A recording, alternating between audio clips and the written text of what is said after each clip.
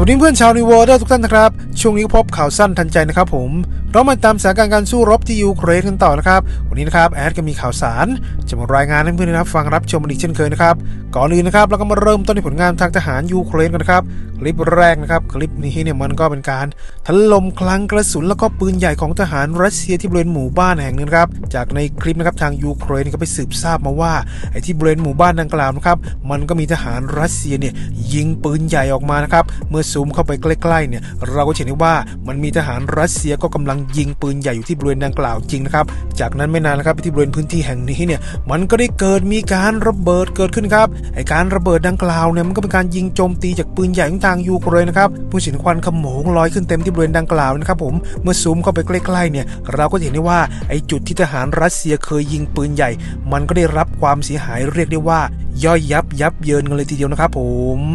แน่นอนครับว่าการโจมตีครั้งนี้เนี่ยก็คิดว่าไอ้เจ้าปืนใหญ่และก็คลังกระสุนของทหารรัสเซียที่บริเวณดังกล่าวเนี่ยมันก็น่าจะได้รับความเสียหาย กลายเป็นซากกลายเป็นเศษเหล็กไปเป็นที่เรียบร้อยนะครับสถานที่เกิดเหตุนะครับก็อยู่ที่พาลัสคอปวิปกาทางเหนือของบักมุดนะครับเพื่อน คลิปต่อมานะครับคลิปนี้นะครับมันก็เป็นคลิปการถล่มทหารแวกเนอร์ที่บักมุดนะครับจากในคลิปนะครับเพื่อนเห็นการระเบิดถึงควันขโมงเกิดขึ้นที่บริเวณดังกล่าวเต็มไปหมดเลยครับไอสถานที่แห่งนี้นะครับทางทหารแวกเนอร์เนี่ยก็ได้รุกเข้ามานะครับทางยูเครนเนี่ยก็มีการยิงปืนใหญ่โจมตีเข้าใส่ที่บริเวณดังกล่าวอย่างหนักนะครับเพื่อนเห็นควันขโมงเกิดขึ้นที่บริเวณดังกล่าวเต็มไปหมดเลยครับผม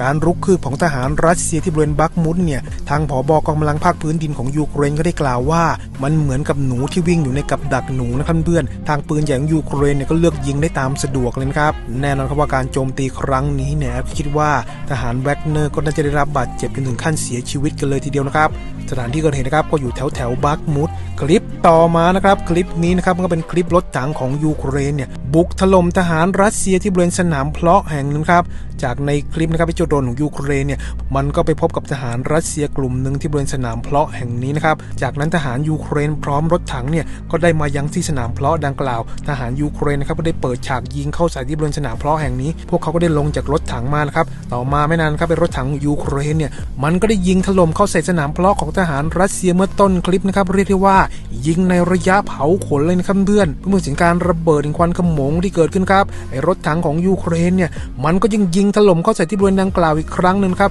เรียกได้ว่าเอาให้คาที่กันไปเลยนะครับเพื่อจะได้ว่ามีทหารรัสเซียคนหนึ่งเนี่ยก็ได้วิ่งหนีตายอยู่ที่บริเวณดังกล่าวนะครับแอดเนี่ยก็ต้องขอเบลอไว้นะครับ ผมคลิปต่อมานะครับคลิปนี้นะครับมันก็เป็นคลิปซากความเสียหายของเจ้ารถถังรัสเซียคันหนึ่งที่บริเวณบ้านแห่งหนึ่งครับจากในคลิปนะครับที่บริเวณดังกล่าวเนี่ยมันก็ปรากฏซากรถถังพร้อมป้อมปืนที่อยู่ข้างๆนะครับและที่บริเวณดังกล่าวเนี่ยมันก็ยังมีซากความเสียหายของบ้านเรือนอยู่ด้วยนะครับผมไอ้รถถังคันนี้นะครับก็คาดว่าน่าจะถูกโจมตีจากอาวุธชนิดหนึ่งของทางยูเครนแอดก็คาดว่ามันก็น่าจะเป็นกระสุนนำวิถีนะครับไอกระสุนนำวิถีดังกล่าวเนี่ยมันก็โจมตีเข้าใส่รถถังคันนี้ จากนั้นนะครับรถถังคันนี้เนี่ยมันก็เกิดการระเบิดเพื่อจินตนาการตามแอนนะครับการระเบิดดังกล่าวเนี่ยมันก็ได้ทำให้ป้อมปืนกระเด็นออกมานะครับจากนั้นป้อมปืนเนี่ยมันก็มาตกข้างๆ บ้านหลังนี้นะครับ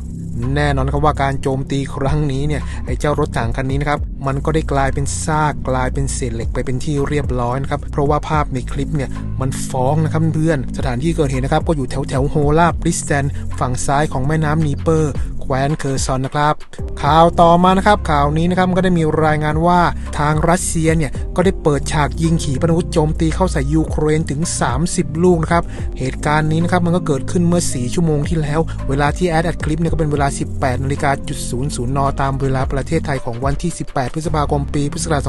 2566 นะครับ การยิงโจมตีดังกล่าวเนี่ยทางยูเครนก็สามารถสกัดได้ถึง 29 ลูกเลยนะครับเพื่อนเรียกได้ว่าทางรัสเซียเนี่ยคงคิดว่าไอขีปนาวุธแบบแพทริออตของยูเครนเนี่ยใช้งานไม่ได้แล้วหนึ่งระบบก็เลยหวังว่าไอขีปนาวุธที่ยิงโจมตีเข้าใส่เนี่ยจะหลุดลอดพ้นระบบต่อต้านอากาศยานของยูเครนมาได้บ้าง แต่ที่ไหนได้นะครับมันถูกสอยไป 29 จาก 30 ลูกที่ยิงมานะครับและเจ้าแพทริอตของยูเครนเนี่ยมันก็ยังใช้งานได้ทั้ง 2 ระบบนะครับผมการโจมตีด้วยขีปนาวุธของรัสเซียครั้งนี้มันก็ประกอบไปด้วยขีปนาวุธแบบคาลิเบอร์ 6 ลูก แบบ KS 101 KS 555 21 ลูก Iskander K 2 ลูก โดรนแบบชาเฮด136 131 1 2 ลำ โดรนลาดตระเวนสอดแนมอีก 2 ลำนะครับผม แน่นอนครับว่าการโจมตีด้วยขีปนาวุธของรััสเซียครั้งนี้เนี่ยก็เรียกได้ว่าล้มเหลวไม่เป็นท่านครับ ยิงมา 30 ลูก โดนสกัดไป 29รอดไป1เรียกได้ว่าล้มเหลวแบบสุดๆนะครับเพื่อนสถานการณ์การสู้รบที่ยูเครนคงดูเดือดนะครับจะมีความคืบหน้าเพิ่มเติมอย่างไรเนี่ยแอดเกียรติมนำมารายงานให้เพื่อนได้รับฟังรับชมต่อไปนะครับเพื่อนชอบคลิปนี้ก็ฝากกดติดตาม กดไลค์กดแชร์เพื่อเป็นกำลังใจแอดด้วยครับถ้าเมื่อมีความคิดเห็นอย่างไร ก็สามารถทิ้งความคิดเห็นไว้ที่ใต้คลิปนั้นนะครับผม สวัสดีครับ